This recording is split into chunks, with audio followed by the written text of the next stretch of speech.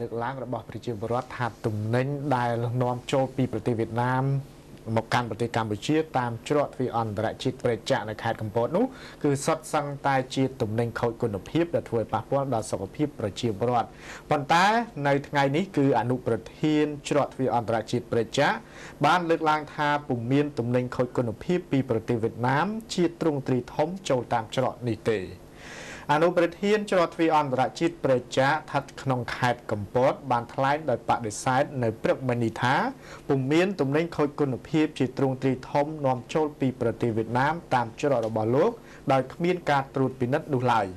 លោកសៅរស្មីអនុប្រធានច្រកទ្វារអន្តរជាតិប្រជាបានមានប្រសាសន៍ថារាល់ទំនិញទាំងអស់មកពីប្រទេសវៀតណាមដែលចូលតាមច្រកប្រជា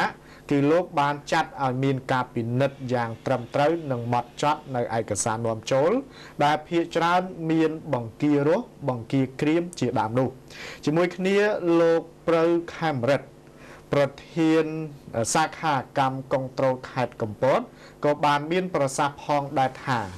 រាល់ទំនិញទាំងអស់ជាពិសេសបន្លែផ្លែឈើដែលចូលតាមច្រកព្រះចា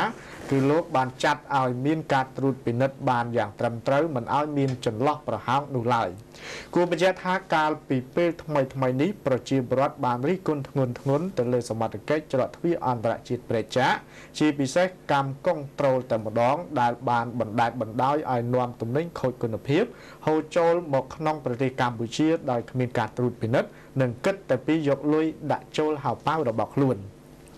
ពួកគាត់បានបន្តទៀតថាទំនិញមកពីប្រទេសវៀតណាមដែលភាគច្រើនជាគ្រឿងឧបភោគបរិភោគ ភេសជ្ជៈបន្លែផ្លែឈើនិងគ្រឿងសមុទ្រជាដើម ដែលមានជាតិគីមីត្រូវបានក្រុមឈ្មួញនាំចូលមកកាន់ប្រទេសកម្ពុជា តាមច្រកព្រែកចាក់នាពេលយប់និងទីភ្លឺដោយមិនមានការត្រួតពិនិត្យពីសំណាក់មន្ត្រីកម្មកុងត្រូលនោះឡើយដោយគេឃើញតែមន្ត្រីអស់ទាំងនោះចាំយកលុយពីរថយន្តដឹកទំនិញទាំងនោះចូលទៅវិញ។